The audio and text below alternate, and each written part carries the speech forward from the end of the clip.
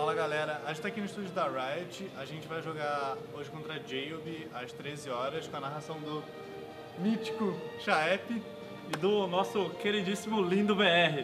Então, vem pro CBLOL você também! Vem!